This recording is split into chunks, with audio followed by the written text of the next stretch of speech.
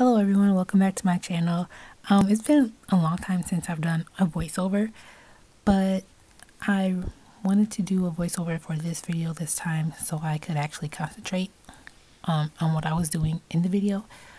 But today I'm going to be showing you guys my A6 sized um, journal that I was supposed to be using but decided not to and I was trying to think of a way to um, basically like a way to use it because I didn't want it to, to, to just sit there.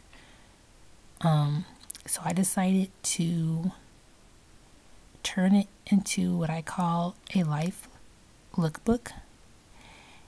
And it's kind of like hard to explain. I've been trying to think of ways that I could put it to make it easy to understand what it's going to be used for.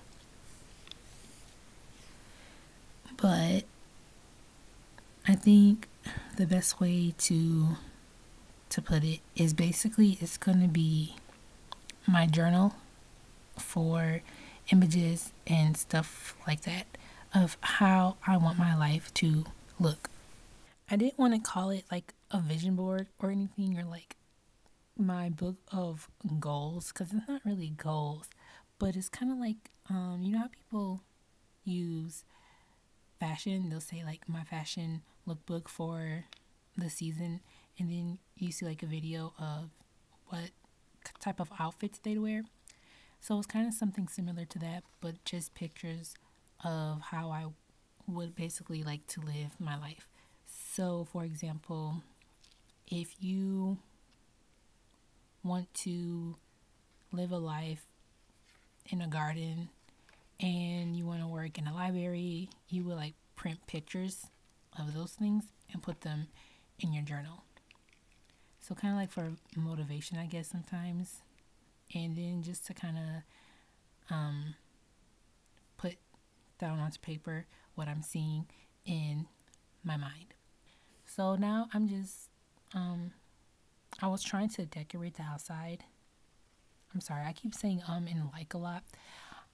I was trying to decorate the outside of my journal. So as you can see, I really didn't get far in this journal. I did only a, few spreads.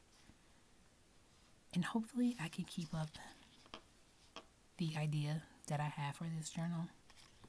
And I just printed out some pictures of how I would want my future home to look and things like that. Just kind of like the vibe I want my life to have. But I'm just going to let you guys go ahead and watch the video. I really don't have much left to say. So hopefully you'll enjoy this and I'll see you guys in my next one. Bye.